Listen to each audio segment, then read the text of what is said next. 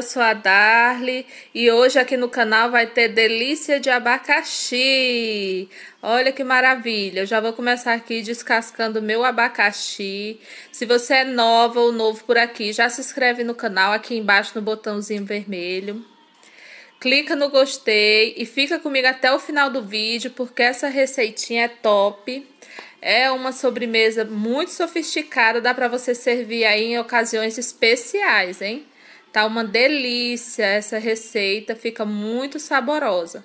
Então, vamos lá, acompanha aí a receitinha até o final do vídeo. Eu vou descascar aqui todo o meu abacaxi, tirar essa parte grossa. Vou tirando aqui também esses, esses pontinhos pretos que ficam no abacaxi. Eu tô usando aqui um abacaxi pérola.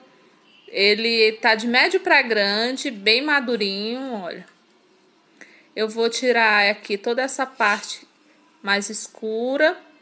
E agora eu vou tirar esse miolo aqui do meio, que é um tipo um palmito, né? Ele faz amargar o abacaxi. Então eu vou cortar e eu vou agora cortar o meu abacaxi. Olha, retirei aqui a parte do meio, tá vendo?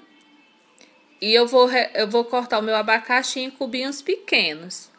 Vou cortar todo ele aqui, cortando aqui em cubinhos pequenos. E continuar aqui cortando. Aí você pode, aí o tamanho você decide. Você pode cortar ele bem menor. Esse tamanho aqui pra mim tá ideal. Ó, já cortei todo aqui o meu abacaxi, agora eu vou levar pro fogo aqui, colocar aqui nessa panela para fazer a calda do abacaxi. Que vai ser uma das camadas aqui da nossa receita deliciosa, delícia de abacaxi. Agora eu vou acrescentar três colheres de sopa, ó, uma dessas colheres aqui, ó, que eu tô utilizando, bem cheia de açúcar para fazer a calda. Vou levar para o fogo e vou deixar cozinhando por 15 minutinhos. É o suficiente. Ele vai cozinhar bem até ficar bem macio esse abacaxi. Enquanto isso, eu já vou fazer o meu creme de confeiteiro. Vamos lá. Aí, aqui na outra panela, eu vou colocar um litro de leite para fazer o creme de confeiteiro. Um litro de leite. E também vou acrescentar quatro colheres de sopa é, de amido de milho. Eu já diluí e vou colocar aqui que é o que vai dar consistência e engrossar o nosso creme de confeiteiro. Então eu vou colocar e vou também acrescentar um coco.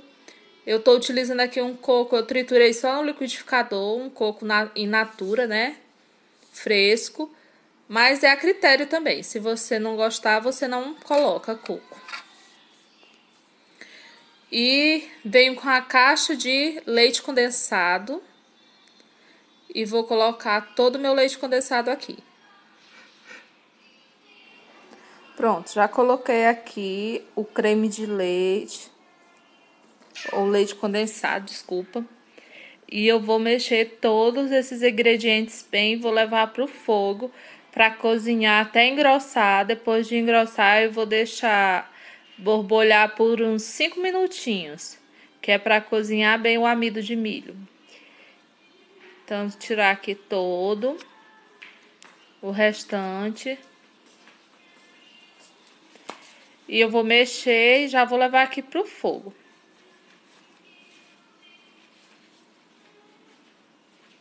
Misturei bem, olha. Aí já coloquei aqui no fogo, ó, o meu abacaxi já ainda tá aqui cozinhando. Eu vou mexer bem e vou deixar engrossar. Ó, ele já tá borbulhando, eu acrescento aqui uma caixinha de creme de leite. 200 ml de creme de leite, já com fogo apagado. Agora eu vou pegar aqui o meu creme de confeiteiro e vou transferir aqui para o meu recipiente, a minha travessa.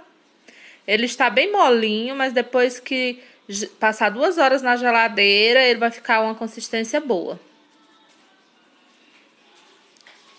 Você vai deixar duas horas gelando, aí depois já pode servir, tá bom? Então vamos lá. Eu vou levar aqui para a geladeira um pouco enquanto eu faço o chantilly. Eu vou colocar aqui na batedeira uma caixinha de chantilly fresco. E eu vou bater até ele ganhar consistência. Só que eu, eu quase tenho que, ó, eu bati ali o meu chantilly, só que eu já quase perdi o ponto do chantilly. Ele ficou muito grosso. Agora eu vou acrescentar aqui o abacaxi. Você vai colocando aqui os pedaços, distribuindo bem. Então, como eu estava falando, o meu, o meu chantilly quase passa do ponto. Então, quando você for bater, é, não bate tanto para ele ficar muito consistente. Deixa ele mais maleável, mais molinho, que vai ficar melhor na cobertura, tá bom? Então, se você não é inscrito, já se inscreve no canal, deixa o seu like aí para ajudar o canal, deixa o joinha, tá bom? E aí vai colocando aqui todo o seu abacaxi, distribuindo bem nos lugares aqui que não pega abacaxi, você vai retirando. E depois aqui é só fazer, colocar o chantilly em cima. E já vai ficar prontinho para levar para a geladeira para gelar por aproximadamente duas horas e já pode servir, tá bom? Lembrando que todos os meus ingredientes eu vou deixar aqui na descrição do vídeo, a receitinha completa, para quando você for fazer aí na sua casa não ter nenhuma dificuldade. Tá certo? Eu vou colocar aqui, ó, já distribuí bem o meu abacaxi. E eu vou pegar agora o meu chantilly, aquele que eu falei que quase passa do ponto, ó, ele ficou bem grosso, não é para ficar nessa consistência não. Quase deu errado. Aí eu vou distribuir todo. Olha, já fiz aqui com garfo, eu fiz tipo umas ondulações para ficar mais bonitinho, tá bom? E agora é só levar para a geladeira por duas horas. Olha, eu tirei agora depois que já passou as duas horas e fica muito cremoso. Olha a consistência desse creme. Então, vou ficando por aqui. Um beijo para você. Se você gostou, dá o like, se inscreve no canal e até o próximo vídeo.